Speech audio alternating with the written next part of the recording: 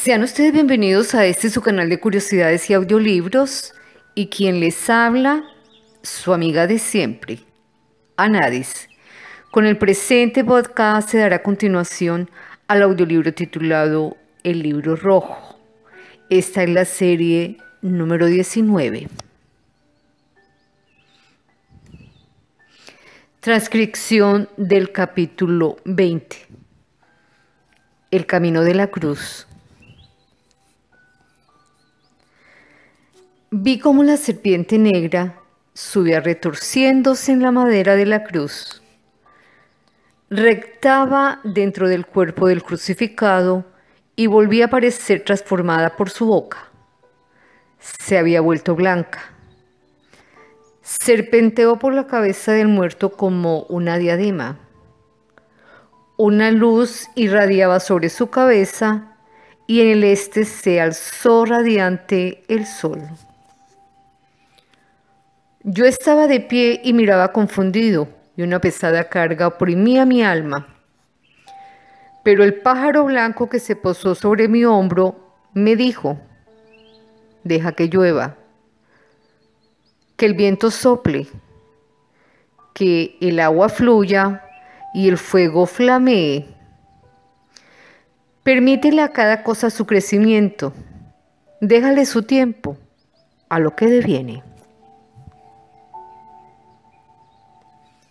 En verdad, el camino conduce a través del crucificado, es decir, a través de aquel para el cual no era poca cosa vivir su propia vida y el cual por eso fue elevado a la gloria. No enseñó lo conocible y lo digno de conocerse, sino que lo vivió. Es indecible cuán grande debe ser la devoción de quien asume vivir su propia vida. Apenas se puede medir la magnitud de la repugnancia de quien quiere entrar en su propia vida. Enferma de aversión. Vomita sobre sí mismo. Sus intestinos le duelen y su cerebro se hunde en la lasitud. Entonces, elucubra una artimaña que le hace posible evadirse, pues nada se puede comparar con el tormento de su propio camino. Parece ser imposiblemente difícil, tan difícil que apenas si existe algo que no se prefiera a este tormento. No son pocos los que incluso aman a los hombres por temor a sí mismos. Creo que también están aquellos que perpetran un crimen para encontrar una razón contra sí mismos. Por eso me aferro a todo lo que me obstruye el camino a mí mismo.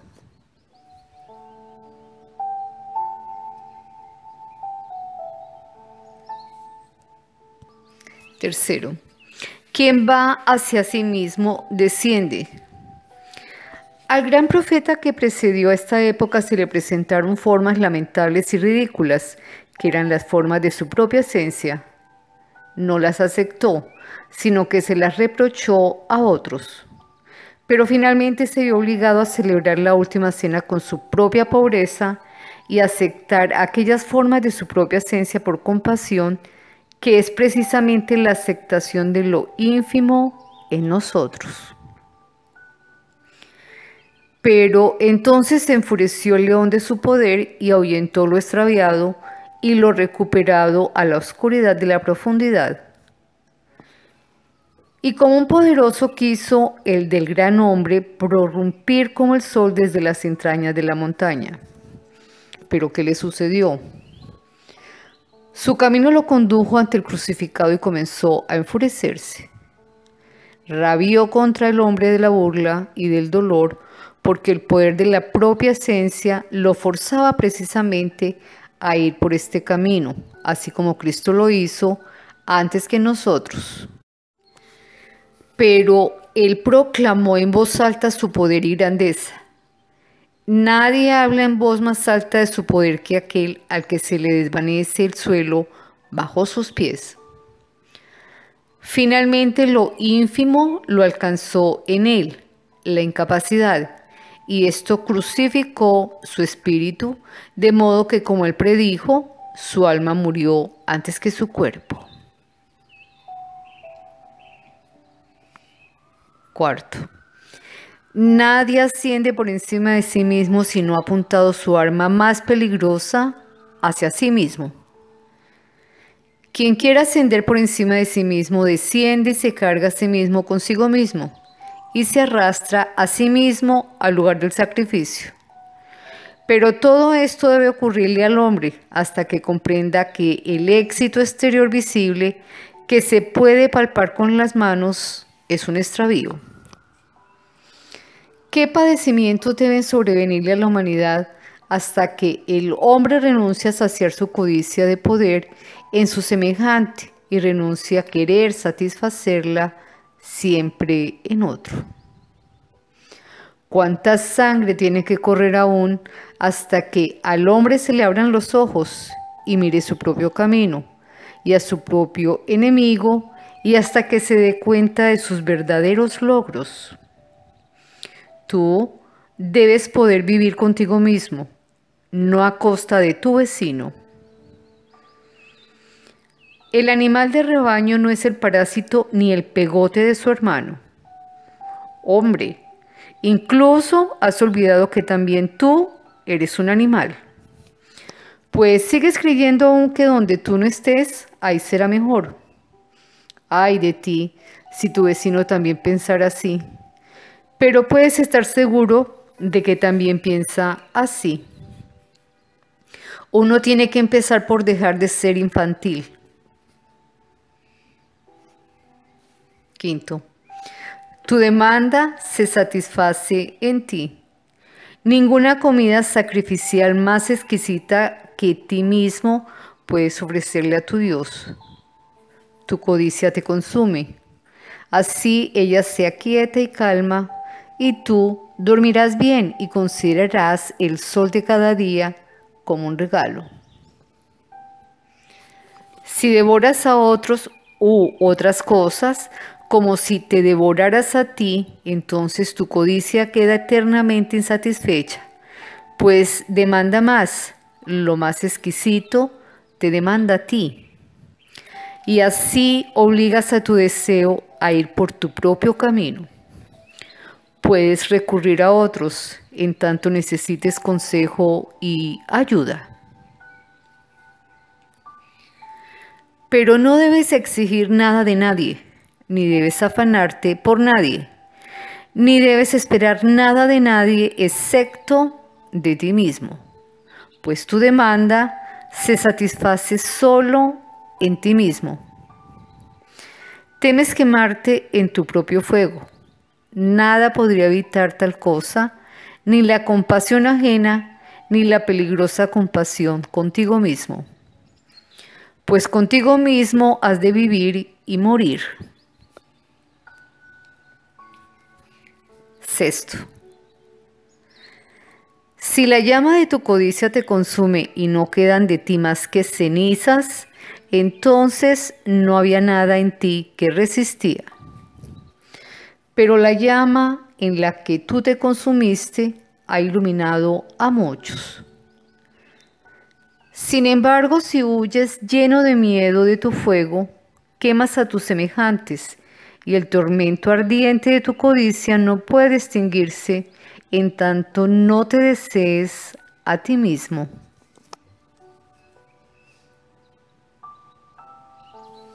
Séptimo.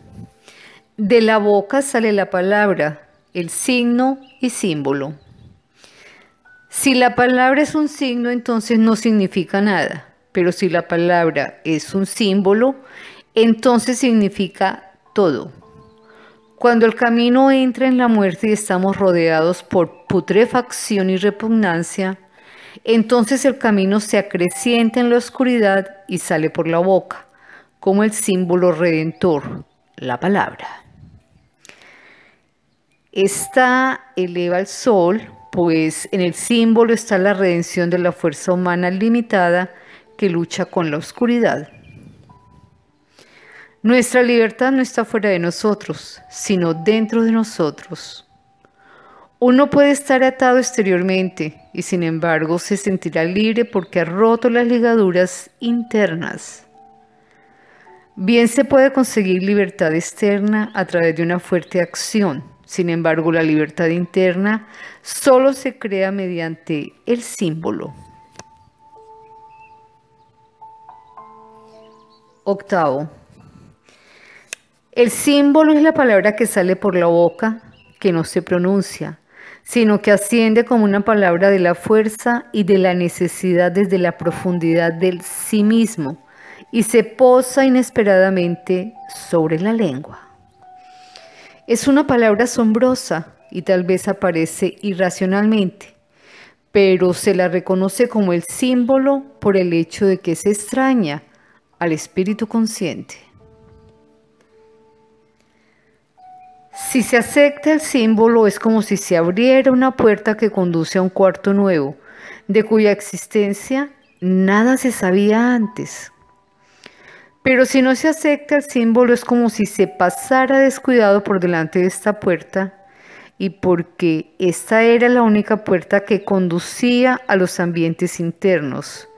Entonces hay que volver a la calle y continuar con todo lo externo. Pero el alma padece necesidad porque la libertad externa no le sirve.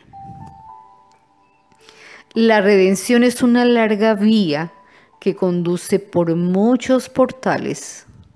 Los portales son los símbolos. Cada nuevo portal es primero invisible. En efecto, es como si primero tuviese que ser creado, pues siempre se encuentra ahí, recién cuando se ha desenterrado el embrión, el símbolo.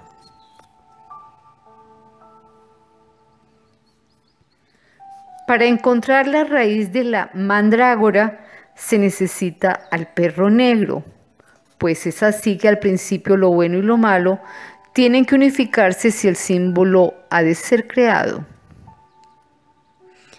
El símbolo no puede ser pensado ni encontrado, deviene. Su devenir es como el devenir del hombre en el cuerpo de la madre. El embarazo es producido ciertamente por apareamiento voluntario. Eso se hace mediante atención voluntaria.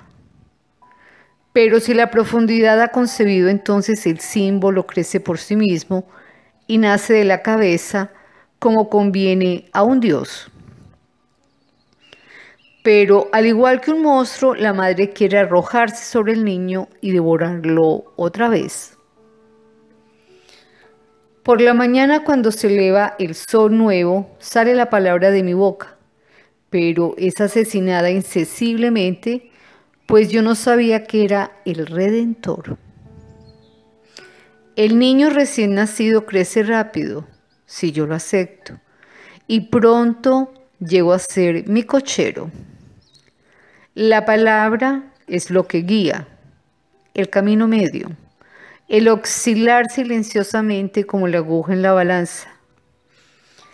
La palabra es el Dios que cada mañana se eleva de las aguas y anuncia a los pueblos la ley que guía. La ley externa, la sabiduría externa, son eternamente insuficientes, pues solo hay una ley, solo una sabiduría a saber, mi ley cotidiana, mi sabiduría cotidiana. En cada noche se renueva el Dios.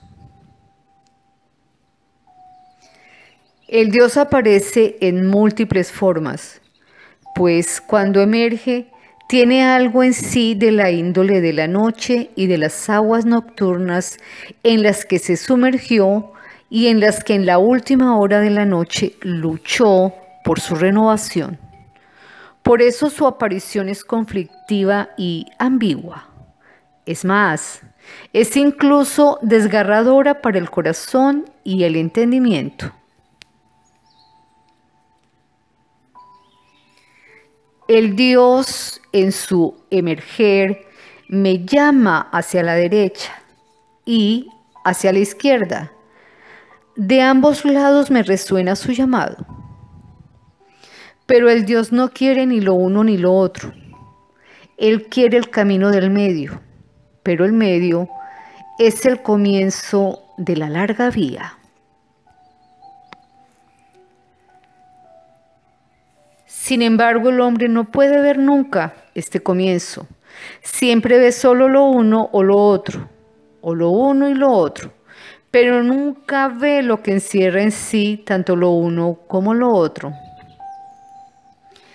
El punto del comienzo es un estado de quietud del entendimiento y de la voluntad un estado de suspensión que provoca mi rebelión, mi obstinación y finalmente mi más grande temor. Pues no veo nada más, ni puedo querer nada más. Así al menos me parece a mí. El camino es un extraño estado de quietud de todo lo que antes era movimiento, una espera ciega, un dudoso escuchar y andar a tientas. Uno creería que va a estallar, pero precisamente de esta tensión nace lo que soluciona y casi siempre está ahí donde menos se lo esperaba. Pero, ¿qué es lo que soluciona? Es siempre algo antiquísimo y justamente por eso algo nuevo pues algo que pasó hace mucho y que vuelve hoy en un mundo cambiado es nuevo.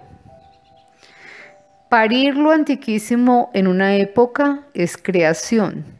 Eso es creación de lo nuevo y eso me redime. Redención es la solución de la tarea. La tarea es dar a luz lo viejo en una época nueva. El alma de la humanidad es como la gran rueda del zodiaco que rueda en el camino. Todo lo que en el movimiento constante va desde abajo hacia lo alto estaba ya previamente en lo alto. No hay ninguna parte de la rueda que no vuelva. Por eso lo que fue vuelve a brotar y lo que fue alguna vez será nuevamente, pues son todas cosas que son propiedades innatas de la esencia humana pertenece a la esencia del movimiento hacia adelante, que lo que ha sido retorne. Solo un ignorante puede sorprenderse de eso. Pero en el eterno retorno de lo mismo no se encuentra el sentido, sino en la índole de su recreación en el tiempo. El sentido se encuentra en la índole y la dirección de la recreación. Pero, ¿cómo puedo crear el cochero para mí? ¿O quiero ser mi propio cochero? Solo puedo guiarme a mí mismo con voluntad e intención, pero la voluntad y la intención son meramente partes de mí mismo. Por eso son insuficientes para expresar mi totalidad. Intención es lo que yo puedo prever y voluntad es querer una meta prevista. Pero, ¿de dónde tomo la meta?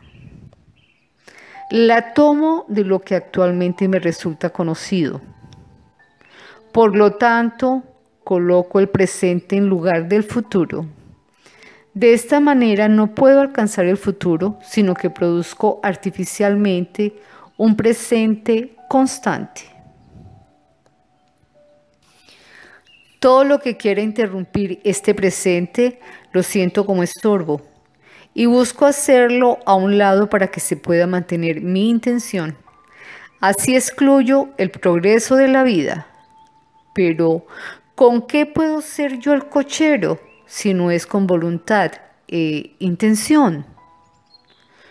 Por eso, un hombre sabio Tampoco desea ser un cochero, ya que sabe que si bien la voluntad y la intención alcanzan la meta, sin embargo estorban el devenir del futuro. Lo futuro deviene a partir de mí.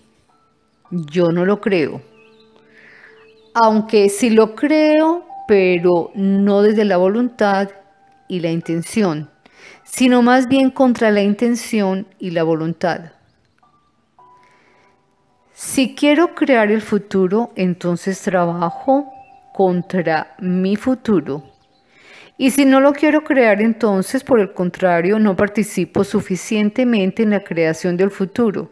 Y todo sucede según las leyes inevitables en las que caigo como la víctima. Para forzar el destino, los antiguos idearon la magia. La utilizaron para determinar el destino interno y encontrar el camino que nos podemos imaginar. Pensé por mucho tiempo qué tipo de magia debería ser esta y finalmente no encontré nada. Quien no puede encontrarla por sí tiene que transformarse en adepto. Y así me dirigí a una tierra lejana donde habita un gran mago, de cuya reputación yo había escuchado.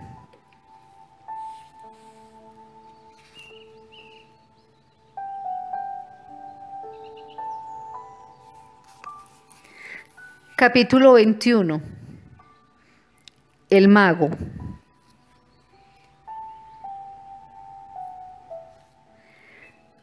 Tras una larga búsqueda encontré la pequeña casa en el campo, ante la que se extiende un cantero de tulipanes florecientes y donde habitan el mago Iadmon, Filemón y su mujer Baikil, Bausis.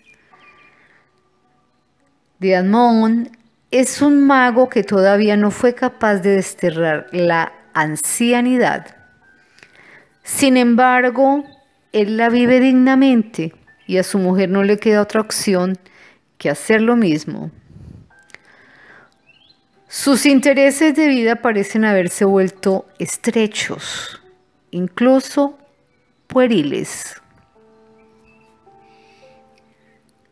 Riegan su cantero de tulipanes y conversan acerca de las flores que se han abierto recientemente. Y sus días declinan allí, en una pálida penumbra vacilante, alumbrados por las luces del pasado, apenas asustados por la oscuridad de lo venidero.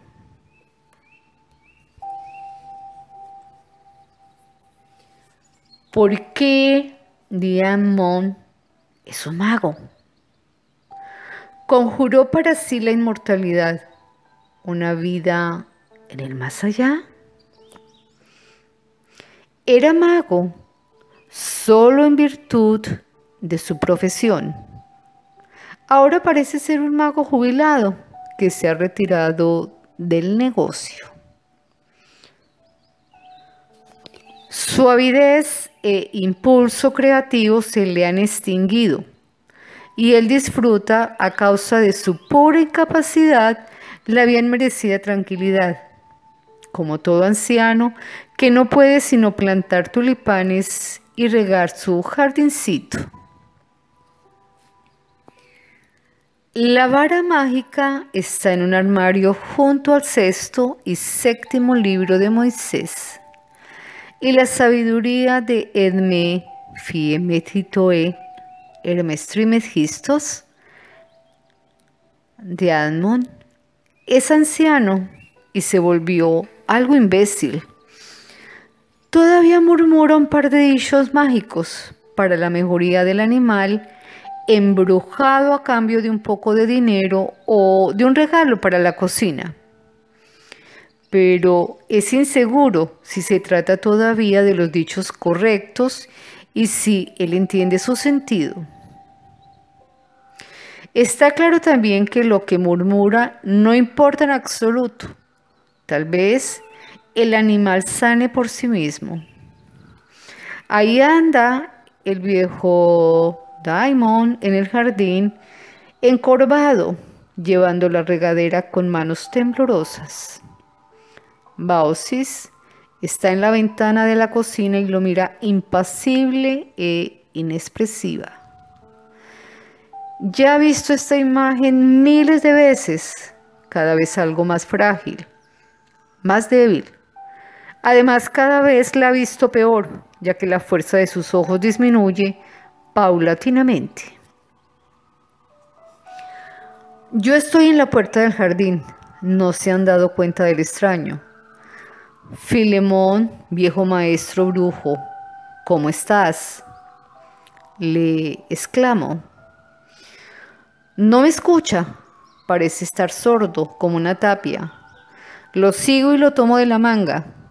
Se da vuelta y me saluda torpe y temblorosamente.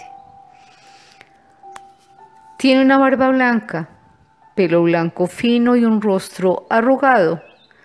Y en este rostro parece haber algo. Sus ojos son grises y viejos y hay algo raro en ellos. Se podría decir vivo. Me va bien extraño, dice, pero ¿qué quieres por aquí? Yo. Me han dicho que tú entiendes de el arte negro. Estoy interesado en ello. ¿Quieres contarme? Diamond. ¿Qué he de contarte? No hay nada que contar. Yo. No sea malhumorado, anciano. Quisiera aprender algo. Diamond. Seguramente tú eres más erudito que yo. ¿Qué podría enseñarte? Yo. No seas avaro. No te haré la competencia, seguro. Solo me intriga lo que practicas y lo que hechizas. Daimon, ¿qué quieres? Antiguamente he ayudado aquí y allá a la gente contra enfermedades y daños de diferentes tipos.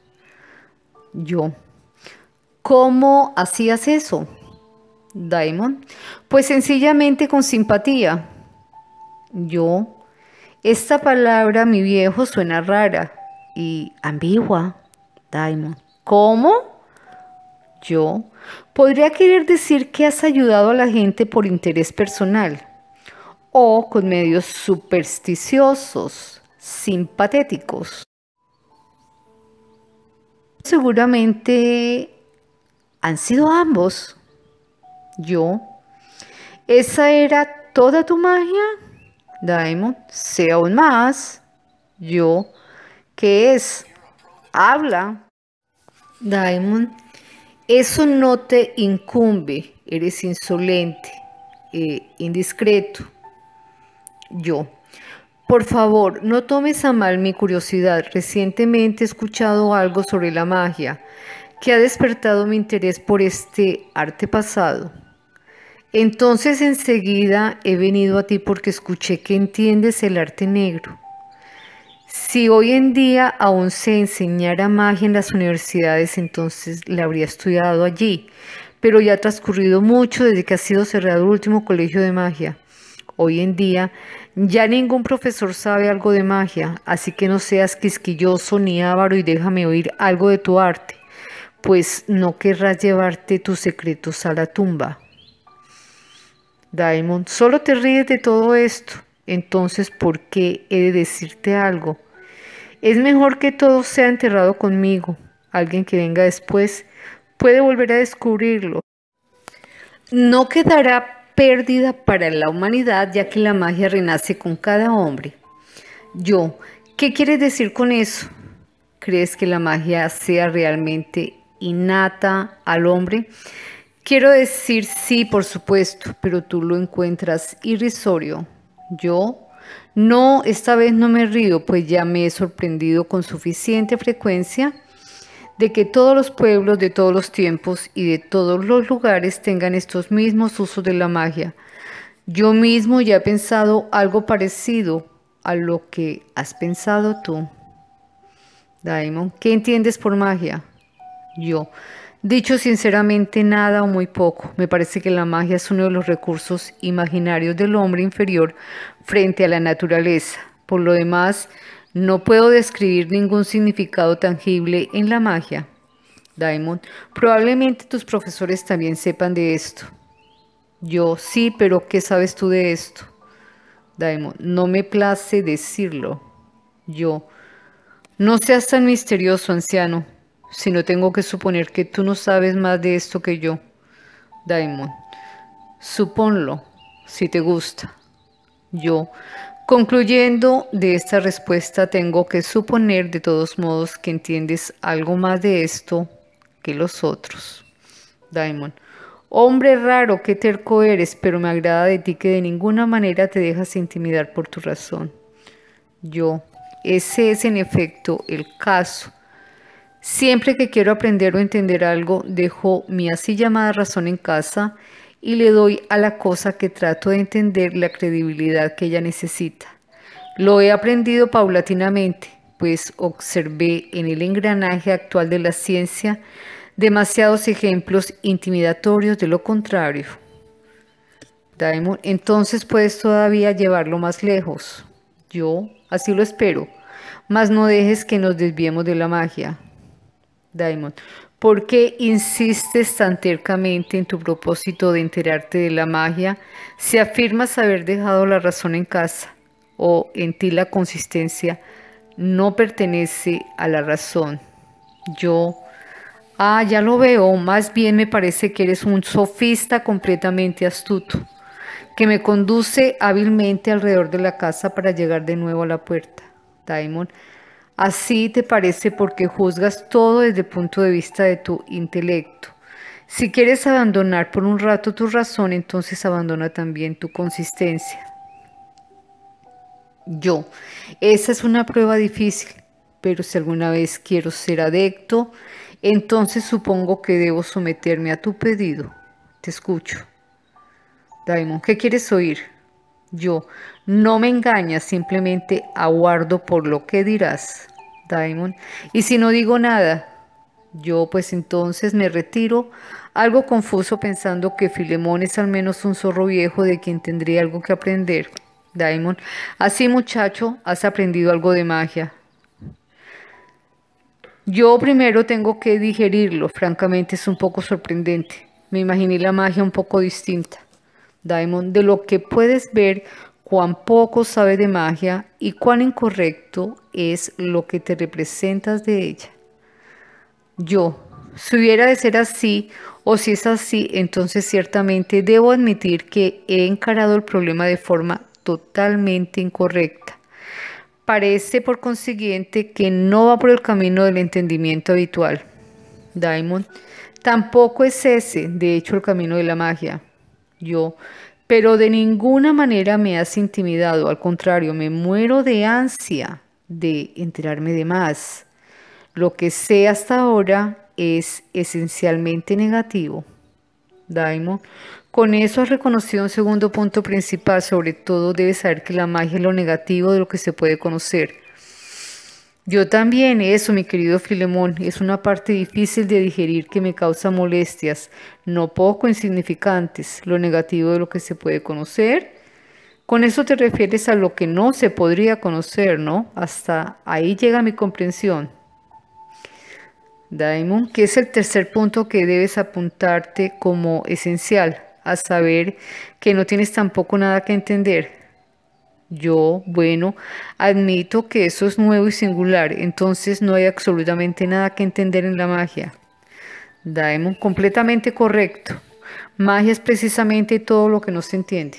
Yo, pero diablo, ¿cómo pues se ha de enseñar y aprender la magia? Daemon, la magia no se enseña ni se aprende. Es necio que quieras aprender magia. Yo, entonces la magia es en suma un engaño. Daimon, no te olvides, has vuelto a traer tu razón. Yo, es difícil estar sin razón. Daimon, igualmente difícil es la magia. Yo, bueno, entonces es una cuestión difícil. Me parece que es una condición indispensable para el adecto olvidar por completo su razón. Daimon, lo lamento, pero es así. Yo. Ay, dioses, esto es grave, Daimon. No es tan grave como piensas. Con la edad la razón disminuye de por sí, pues es una contrapartida útil de los impulsos que en la juventud son más intensos que en la vejez. ¿Acaso ya has visto magos jóvenes? Yo no. Incluso el mago es proverbialmente viejo. Diamond, ¿ves? Tengo razón. Yo, pero entonces las perspectivas del adecto son malas. Debe esperar hasta la vejez para poder experimentar los secretos de la magia. Diamond. Si renuncia antes a su razón, entonces ya puede también experimentar algo útil más temprano. Yo, eso me parece ser un experimento peligroso. No se puede renunciar a la razón. Así nomás. Diamond. Tampoco uno puede convertirse en un mago. Así nomás. Yo. Tiendes malditas trampas. Daimon, ¿qué quieres? Esto es magia. Yo, viejo diablo, me hace sentir envidia de la vejez carente de razón. Daimon, vaya, un joven que quisiera ser un anciano. ¿Y por qué? Quiere aprender la magia y no se atreve en virtud de su juventud. Yo, extiendes una red infernal, anciano tramposo. Daimon, tal vez sea mejor que todavía esperes algunos añitos para la magia, hasta que tus cabellos se hayan vuelto grises y tu razón haya decaído por sí misma. Yo, no quiero escuchar tu burla. Tontamente he caído en tu red. No puedo discernir nada de ti, Diamond. Pero tal vez, tonto, sea ya un avance en el camino de la magia. Yo. A propósito, ¿qué haces en todo el mundo con tu magia? Diamond. Vivo, ¿cómo ves? Yo. Otros ancianos también lo hacen. Diamond. ¿Has visto cómo? Yo, bueno, sí, no era un espectáculo gratificante. A propósito, en ti el tiempo tampoco ha pasado sin dejar huella. Daimon, lo sé. Yo, entonces, ¿dónde están tus ventajas? Daimon, son las que no ves. Yo, ¿cuáles son las ventajas que no se ven? Daimon, son las que uno tiene. Yo, ¿cómo llamas a esas ventajas? Daimon, las llamo magia. Yo, te mueves en un círculo vicioso, que el diablo se lleve lo mejor de ti. Diamond, ¿ves? Eso es también una ventaja de la magia. Ni siquiera el diablo quiere vérselas conmigo. Haces avances en el conocimiento de la magia, de modo que debo creer que tienes buena disposición para ella. Yo, te agradezco, Diamond es suficiente. Estoy mareado. Adiós. Abandono el pequeño jardín y desciendo a la calle. Hay gente parada en grupos y me mira furtivamente. Los escucho susurrar a mis espaldas. Mirad, ahí va él, el discípulo del anciano Daimon. Ha conversado mucho con el anciano. Ha aprendido algo conoce los secretos. Si yo solo supiera lo que él sabe ahora, callad, malditos locos. Quisiera gritarles, pero no puedo, pues no sé si por cierto he aprendido algo. Y porque callo creen aún más que he recibido de Daimon el arte negro.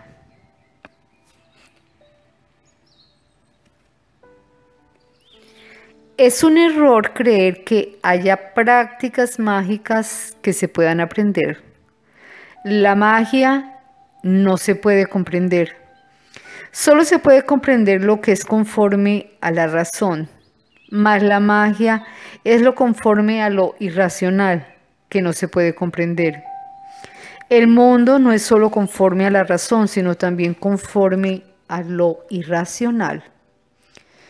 Pero así como se puede abrir el mundo conforme a la razón con el entendimiento, en tanto el mundo conforme a la razón complace el entender. Así coincide también la incomprensión con lo conforme a lo irracional. Esta coincidencia es mágica y de ningún modo se puede comprender. El comprender mágico es lo que se denomina el no comprender. Todo lo que actúa mágicamente es incomprensible y lo incomprensible actúa a menudo mágicamente. La actuación incomprensible se denomina mágica. Lo mágico siempre me encierra, siempre me envuelve, abre habitaciones que no tienen puertas y conduce hacia afuera, donde no hay salida. Lo mágico es bueno y malo, y ni malo ni bueno. La magia es peligrosa, pues lo conforme a lo irracional confunde, atrae y produce efectos y yo siempre su primera víctima. En lo conforme a la razón no se necesita la magia, por eso nuestro tiempo no necesitó más la magia.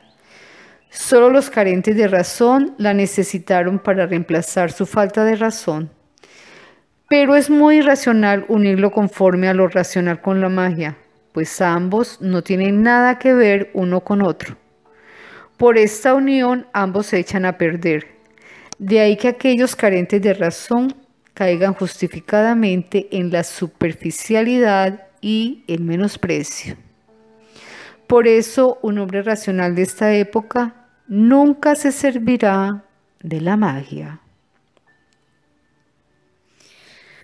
Pero es otra cosa para el que ha abierto el caos en sí. Nosotros necesitamos la magia para poder recibir o invocar al mensajero y la noticia de lo incomprensible.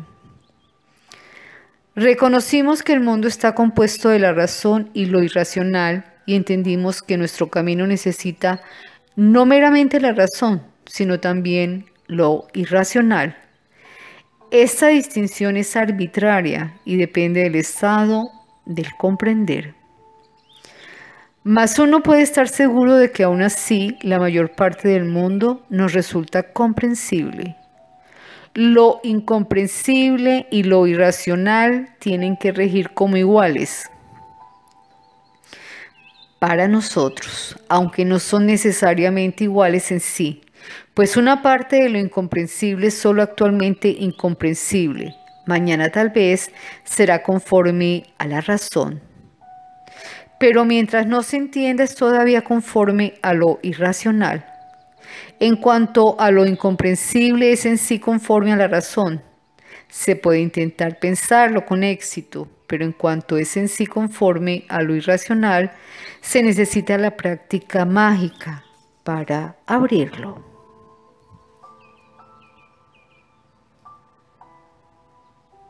La práctica de la magia consiste en que lo incomprendido se haga comprensible de una manera y un modo no comprensibles. La manera y el modo mágicos no son arbitrarios, ya que eso sería comprensible, sino que surgen de fundamentos incomprensibles. También hablar de fundamentos es incorrecto, pues los fundamentos son conforme a lo racional. Tampoco se puede hablar de carente de fundamento, pues no se puede decir más nada de eso. La manera y el modo mágico surgen cuando se abre el caos, también surge la magia.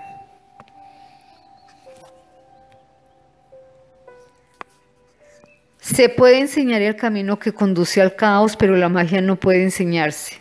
Sobre ello, solo se puede callar, lo cual justamente parece ser la mejor enseñanza. Este parecer es confuso, pero así es la magia. La razón crea orden y claridad, la magia aporta confusión y falta de claridad. En la traducción mágica de lo incomprendido a lo comprensible se necesita incluso la razón, pues solo mediante la razón puede ser creado lo incomprensible. Pero, ¿cómo se ha de emplear la razón para eso? Nadie puede decirlo.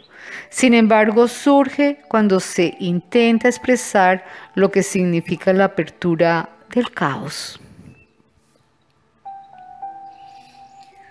La magia es un modo de vida.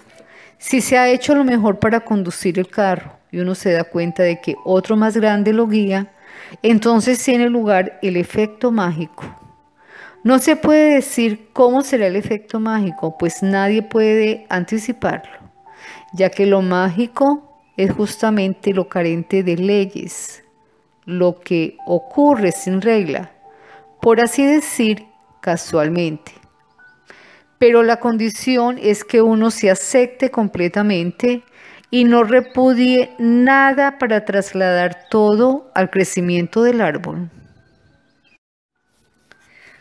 A eso pertenece también la estupidez de la que cada uno tiene una gran proporción y del mismo modo el mal gusto que para muchos es el mayor disgusto. Por eso una cierta soledad y aislamiento son condiciones de vida indispensables para el propio bienestar y el de los otros. De lo contrario, no se puede ser suficientemente uno mismo. Una cierta lentitud de la vida, que es como quietud, será inevitable. Una incertidumbre de la vida sí será quizá lo que más oprima, pero aún así tengo que unir los dos poderes contrapuestos de mi alma y mantenerlos unidos en fiel matrimonio hasta el final de mi vida. Pues el mago se llama Daimon y su mujer Baikie, lo que Cristo ha mantenido separado en sí mismo.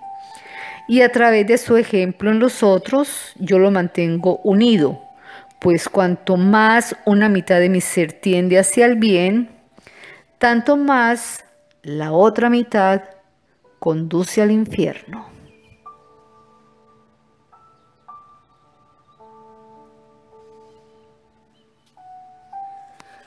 Cuando el mes de Géminis llegó a su fin, los hombres dijeron a sus sombras, tú eres yo, pues anteriormente habían tenido a su espíritu como una segunda persona a su alrededor. Así los dos devinieron uno y por esta colisión lo poderoso irrumpió, justamente la primavera de la conciencia que se llama cultura y que perduró hasta la época de Cristo. Pero el pez marcó el instante en que lo unido se separó según la eterna ley de lo enantiodrómico, en un submundo y un supramundo. Si la fuerza del crecimiento comienza a extinguirse, entonces lo unido se desintegra en su opuesto. Cristo arrojó lo inferior al infierno, pues tiende de modo opuesto a lo bueno. Eso tuvo que ser así pero lo separado no puede permanecer separado para siempre. Se volverá a unir y el mes del pez se agotará pronto. Presentimos y entendemos que el crecimiento necesita de ambos. De ahí que mantengamos unido lo bueno y lo malo. Pues sabemos que ir demasiado lejos en lo bueno significa al mismo tiempo ir demasiado lejos en lo malo. Así que mantenemos unidos a ambos. Pero así perdemos la dirección y no corre más de la montaña al valle. Sin embargo, crece silenciosamente del valle a la montaña. Lo que ya no podemos impedir u ocultar más en nuestro fruto, esta corriente que fluye, deviene lago y mar los cuales no tienen desembocadura a menos que sus aguas se eleven hacia el cielo como vapor y caigan como lluvia desde las nubes.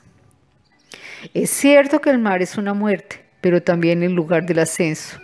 Eso es Daimon, que rega su jardín. Nuestras manos han sido atadas y cada uno debe permanecer sentado en su lugar silenciosamente. Él se eleva invisible y cae como lluvia en tierras lejanas.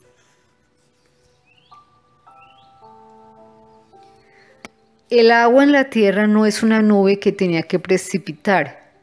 Solo las embarazadas pueden parir, no aquellas que aún tienen que concebir.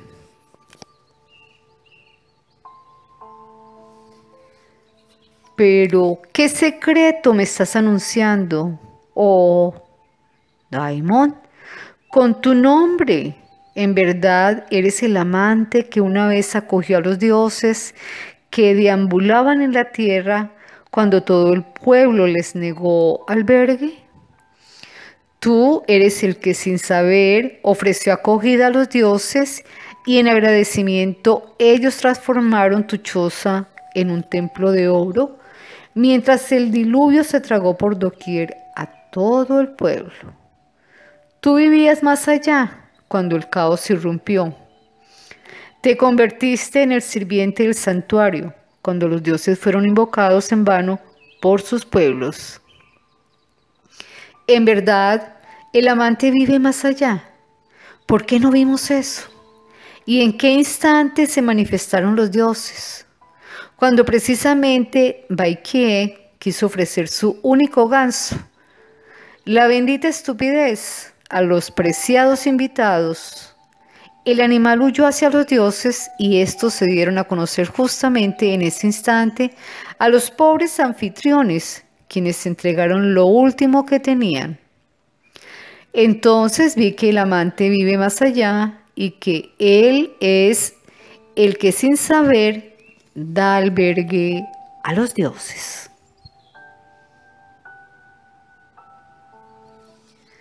En verdad, oh Daimon, no vi que tu choza fuera un templo y que tú mismo, Daimon, tú y Baikie, fueran los sirvientes del santuario. Esta fuerza mágica no se deja verdaderamente enseñar ni aprender. Esto es lo que se tiene o no se tiene. Yo conozco tu último secreto. Tú eres un amante. Has logrado unir lo separado, atar lo superior con lo inferior. ¿No lo sabíamos ya hace mucho? Sí, lo sabíamos. No, no lo sabíamos. Todo fue siempre así y sin embargo aún nunca fue justamente así.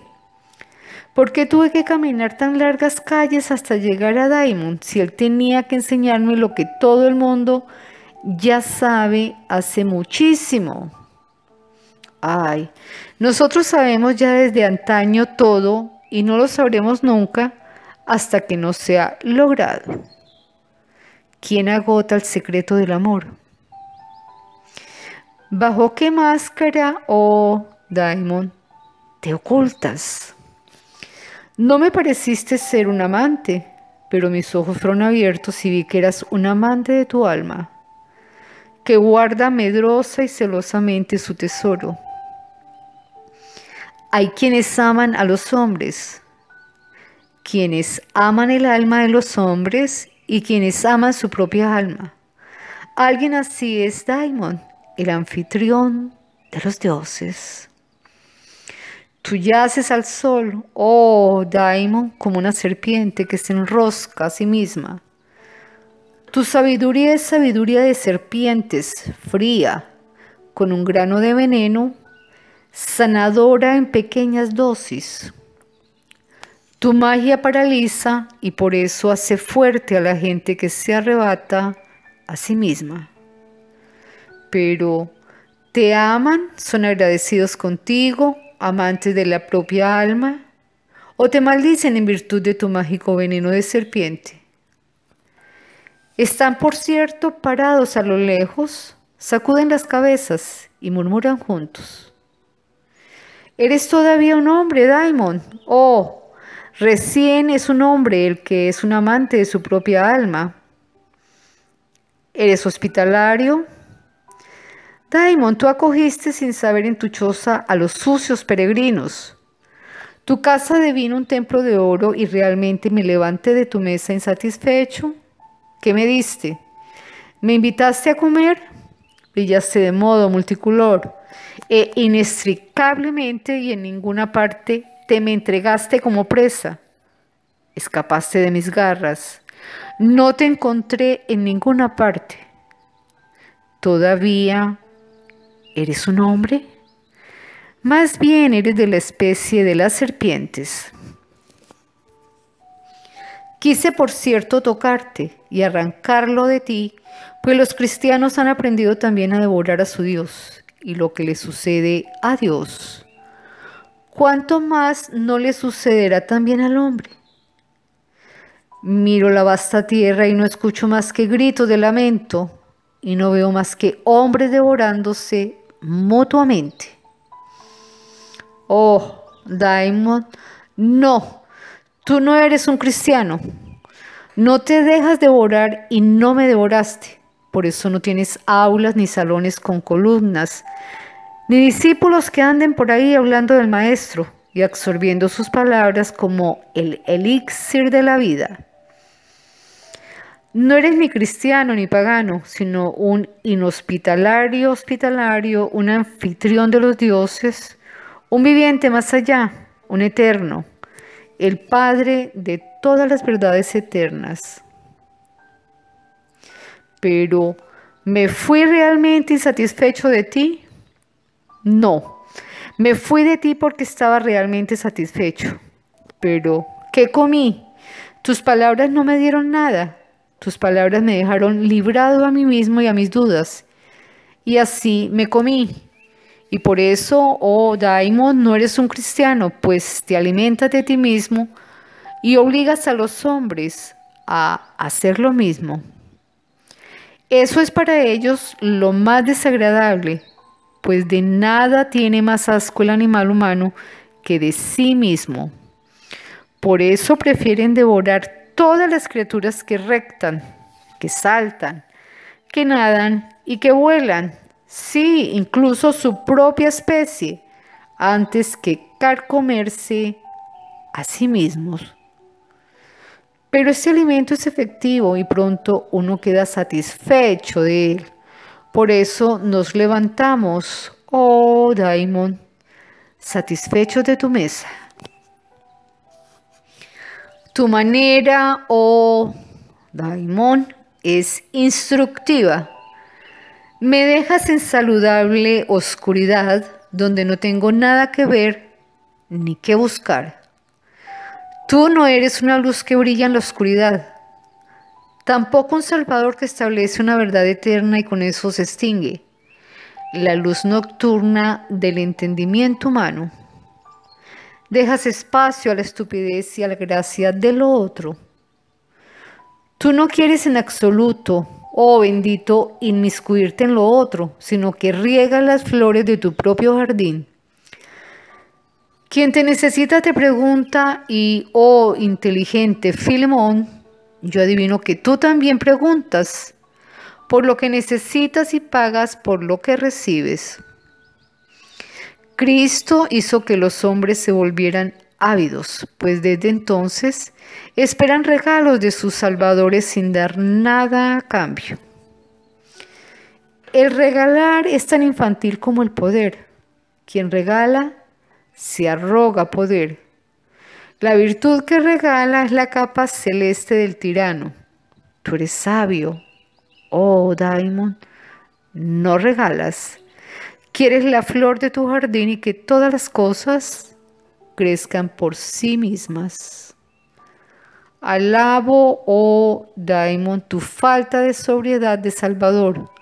No eres un pastor que corre tras ovejas extraviadas, pues tú crees en la dignidad del hombre que no necesariamente es una oveja. Pero si no obstante es una oveja, entonces le concedes el derecho y la dignidad de la oveja. Pues, ¿por qué las ovejas habrían de llegar a ser hombres? Pues hay verdaderamente suficientes hombres. Tú conoces, oh Daimon, la sabiduría de las cosas venideras, por eso eres viejo o tan antiguo, y así como me aventajas en años, hacia ventajas en futuro al presente y la longitud de tu pasado es inmedible. Eres legendario e inalcanzable. Eras y serás periódicamente recurrente. Tu sabiduría es invisible, tu verdad incognoscible, no verdadera en cada época y sin embargo verdadera en toda la eternidad. Pero tú derramas agua viviente de la que las flores de tu jardín florecen, un agua de estrella, un rocío de la noche. ¿A quién necesitas, oh Daimon? Necesitas a los hombres en virtud de las cosas pequeñas, pues todo lo más grande y lo grandísimo está en ti. Cristo ha malcriado a los hombres, pues les enseñó que serían redimidos solo en uno, pues justamente en Él, el Hijo de Dios, y desde entonces los hombres siguen exigiendo siempre del otro las cosas más grandes, en especial su redención. Y si en alguna parte se ha perdido una oveja, entonces le reclaman al pastor. Oh, Daimon, eres un hombre y demostraste que los hombres no son ovejas pues conservas lo grandísimo en ti, por eso fluye en tu jardín agua fructífera de un inagotable cántaro. Estás solo. Oh, Daimon, no veo ningún séquito ni compañía a tu alrededor. Baikie misma es solo tu otra mitad. Vives con flores, árboles y pájaros, pero no con hombres. ¿No deberías vivir con hombres? ¿Eres todavía un hombre? ¿No quieres nada del hombre? ¿No ves cómo están agrupados? Inventan rumores sobre ti y arman cuentos infantiles sobre ti. ¿No quieres acercarte a ellos y decirles que eres un hombre y un mortal como ellos? y que quieres amarlos. Oh, Daimon, te ríes. Te entiendo. Recién fui tras de ti a tu jardín y quise arrancar de ti lo que de mí mismo tengo que comprender. Oh, Daimon, entiendo. Te convertí inmediatamente en un salvador que se deja consumir y atar a través de regalos. Así son los hombres, piensas tú. Todos son aún cristianos, pero quieren todavía más. Te quieren tal cual eres. De lo contrario, no serías para ellos Daimon y estarían desconsolados si no encontrasen a alguien que represente sus leyendas. Por eso se reirían si te les acercaras y les dijeras que eres un mortal como ellos y que querrías amarlos. Si hicieras eso, no serías Filemón. Te quieren Daimon, pero no quieren un mortal, más que enferma de los mismos males que ellos. ¿Te entiendo? O, Daimon, eres un verdadero amante, pues amas tu alma por amor a los hombres. Pues ellos necesitan un rey que viva desde sí y que no le agradezca a nadie. Así te quieren tener. Tú satisfaces el deseo del pueblo y desapareces eres un recipiente de las fábulas. Te mancillarías si te dirigieras a los hombres como un hombre, pues todos se reirían y te injuriarían por mentiroso estafador, pues Daimon no es, por cierto, un hombre. Vi, oh Daimon, cada arruga en tu cara tuviste tu época. Cuando eras joven y querías ser un hombre entre los hombres. Pero los animales cristianos no aman tu humanidad pagana, pues sentían en ti al que necesitaban. Siempre buscan al marcado y si lo atrapan en alguna parte en libertad, lo meten en una jaula dorada y le quitan la fuerza de su virilidad. De modo que queda sentado, tullido y en silencio. Entonces lo valoran e inventan fábulas sobre él. Ya sé, a esto llaman veneración.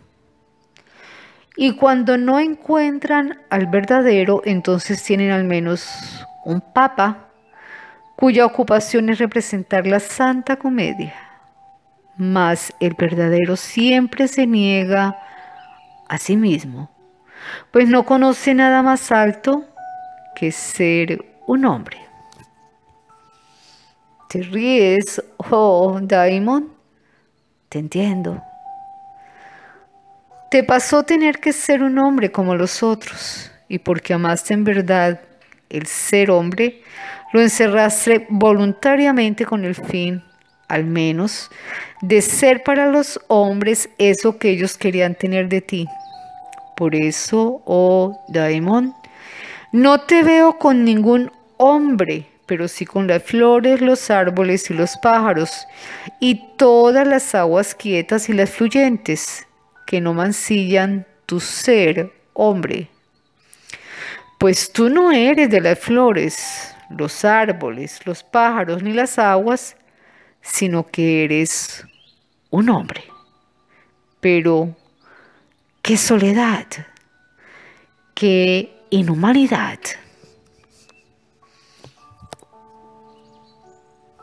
¿Por qué ríes, Odaimon? No lo adivino, pero ¿acaso no veo el aire azul de tu jardín? Qué agradables sombras te rodean. Incuban el sol espectros azules meridionales a tu alrededor. ¿Te ríes? Oh, Diamond. Ah, te entiendo. Te desapareció la humanidad, pero te apareció su sombra. Cuánto más grande y magnífica es la sombra de la humanidad que ella misma. Las sombras azules meridionales de los muertos. Ay, ahí está tu humanidad. Oh, Daimon, eres un maestro y amigo de los muertos.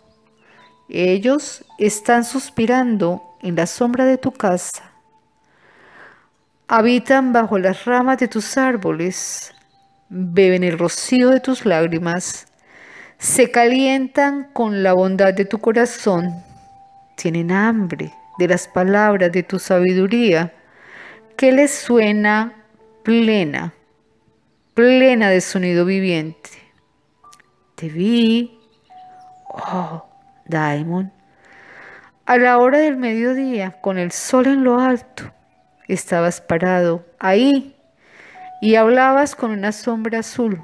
En su frente había sangre pegada y la oscurecía un sublime martirio.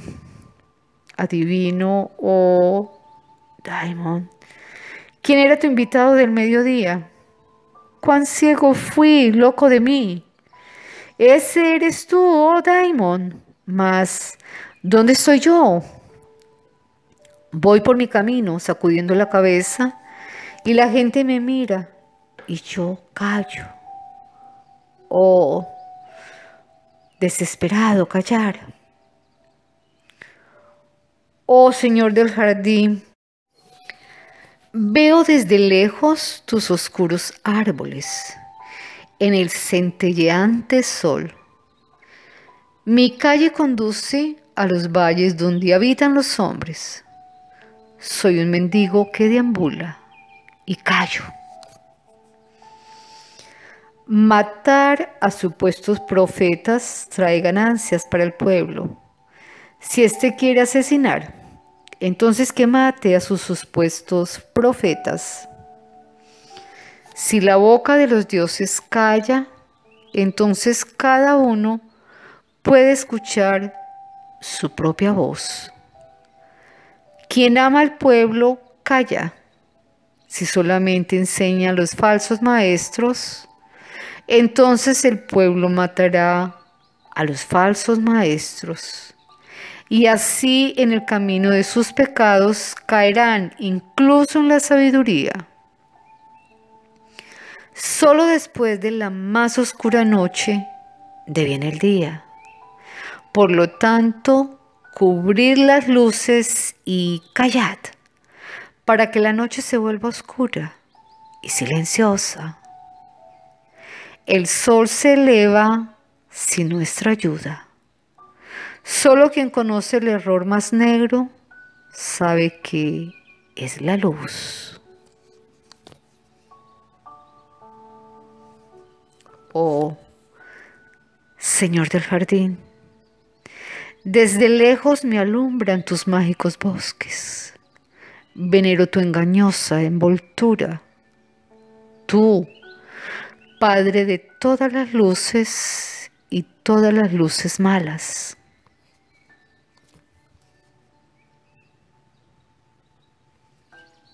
Sigo por mi camino. Mi compañero es un trozo de acero finalmente pulido y endurecido en diez fuegos oculto en la ropa. Llevo puesta una cota de malla alrededor del pecho, oculta debajo del abrigo. Durante la noche he ganado el aprecio de las serpientes. Develé su enigma. Me siento junto a ellas sobre las piedras calientes del camino. Sé cogerlas astuta y cruelmente a esos diablos fríos que pican a los desprevenidos en el talón. Me he convertido en su amigo y les toco con la flauta una canción de suaves tonos, aunque decoro mi caverna con sus pieles iridiscentes. Yendo así por mi camino, llegué a una roca rojiza sobre la que yacía una gran serpiente iridiscente. Ya que ahora había aprendido la magia con el gran Filemón, saqué la flauta y le toqué una dulce canción mágica que le hizo creer que ella era mi alma. Cuando estuvo suficientemente encantada, le dije, mi hermana, mi alma. ¿Qué dices? Pero ella habló lisonjera y por eso tolerante. Barro bajo la alfombra todo lo que tú haces. Yo. Eso suena consolador y parece no decir mucho. Alma. ¿Quieres que diga mucho? También puedo ser banal, como sabes, y darme por satisfecha con eso. Yo. Eso me resulta difícil de entender.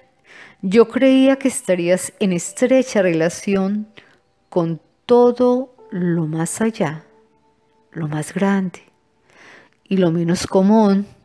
Por eso pensé que la banalidad te era ajena alma. La banalidad es mi elemento vital. Yo, si yo dijera eso de mí sería menos sorprendente. Alma, cuanto menos común seas tú, tanto más común puedo ser yo. Un verdadero descanso para mí. Pienso que tú sientes que hoy no tengo que atormentarme. Yo lo siento y estoy preocupado de que tu árbol al final no me dé más frutos. Alma, ya preocupado, no seas tonto y concédeme la calma. Yo, me doy cuenta de que te gusta ser banal, pero no te tomo trágicamente, mi querida amiga, pues ahora ya te conozco mucho mejor que antes alma. Te vuelves familiar. Temo que tu respeto esté desapareciendo. Yo. ¿Tienes miedo? Creo que sería superficial. Estoy suficientemente enterado de la vecindad del patos y la banalidad. Alma. Entonces, ¿te has dado cuenta del curso serpentino del devenir anímico? ¿Has visto qué rápido se hace de día y de noche? ¿Cómo alternan agua y tierra seca? Y que toda la convulsividad es únicamente dañina. Yo creo que vi esto. Quiero quedarme al sol sobre esta piedra cálida por un tiempo. Quizá el sol me incube. Mas la serpiente se arrastra silenciosamente y se enrosca, untuosa y siniestramente en mis pies. Y atardeció y llegó la noche. Le hablé a la serpiente y dije, no sé qué hay que decir. Se cocina en todas las ollas. Alma, se está preparando una comida. Yo, quizá, la Santa Cena, alma, una unión con toda la humanidad, yo, un pensamiento horripilante, dulce, en esa cena, ser el invitado y la comida a la vez. Alma, ese fue justamente el supremo placer de Cristo. Yo, ¿de qué modo sagrado, pecaminoso, caliente y frío Fluyen todas las cosas, unas en otras. Locura y razón quieren casarse. El cordero y el lobo se pastorean en paz uno junto al otro. Todo es sí y no.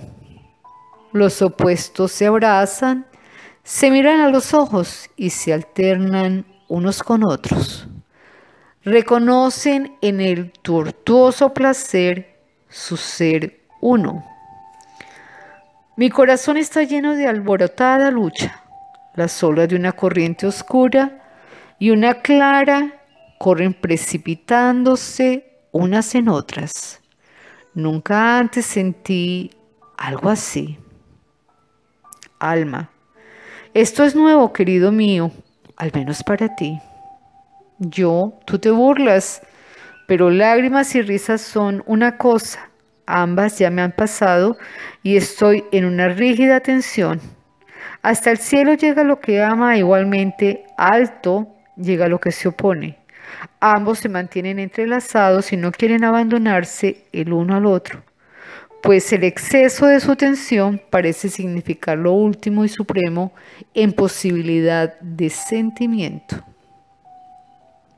Alma, te expresas patética y filosóficamente. Tú sabes que todo esto también puede decirse mucho más sencillamente. Por ejemplo, podría decirse que estás enamorado empezando desde los caracoles y subiendo hasta Tristán e Isolda. Yo sí lo sé, pero aún así, alma, la religión aún parece atormentarte. ¿Cuántos escudos más necesitas todavía? Dilo preferiblemente sin vueltas. Yo, no me estás entendiendo. Alma, bueno, ¿qué hay con la moral? También la moral y la inmoralidad se han vuelto hoy una sola cosa. Yo, te burlas, hermana mía, y diablo estónico. Pero debo decirte que aquellos dos que llegan hasta el cielo manteniéndose entrelazados también son lo bueno y lo malo. No bromeo, sino que gimo porque la alegría y el dolor suenan juntos, estridentemente.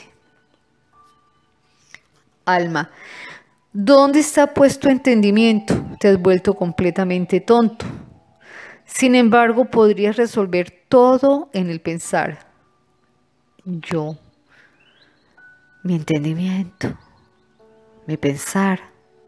No tengo más entendimiento, se me ha vuelto insuficiente. Alma, reniegas de todo lo que creías. Te olvidaste completamente quién eres, incluso reniegas de Fausto. ¿Qué pasó delante de los espectros con andar tranquilo? Yo ya no lo sé más, mi espíritu también es un espectro. Alma, ay, veo que sigues mis enseñanzas. Yo, lamentablemente es así y me lleva a una alegría llena de dolor.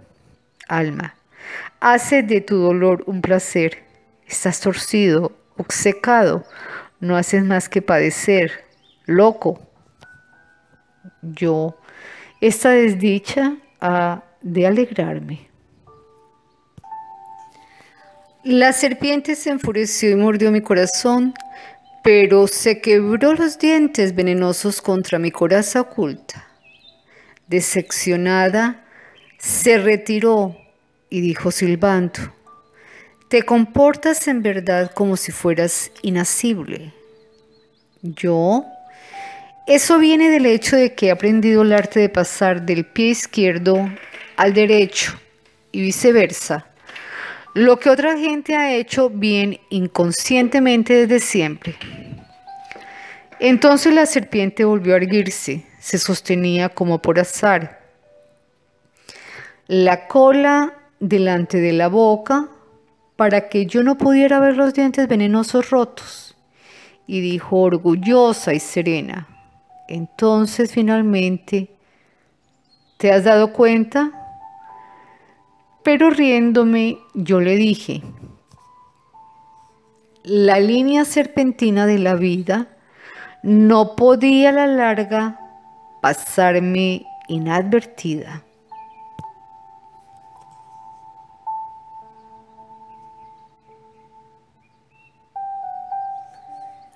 Así se concluye esta serie número 19 del audiolibro titulado El libro rojo. Paz para todos.